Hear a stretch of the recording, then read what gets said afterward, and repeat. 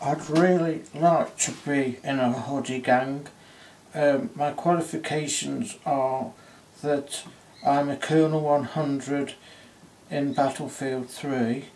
Um, I'm willing to go uh, anywhere in Staffordshire to fight. Um, I'd even go to Stoke-on-Trent.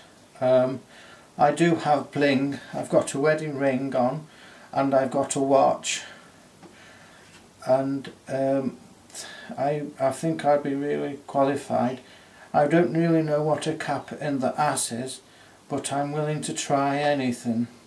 So if there's any wannabe gangs who wants a good hoodie, who, who's got uh, a, a, a REQ DVL thing um, in medicine so I can give medicines while I'm on the job. Uh, thank you very much. I thank you for listening. I'm going to put this on YouTube so I can get interviews for being in a hoodie gang somewhere in Staffordshire. Thank you. How, how do you press, how do you work this? Press that button there. Oh.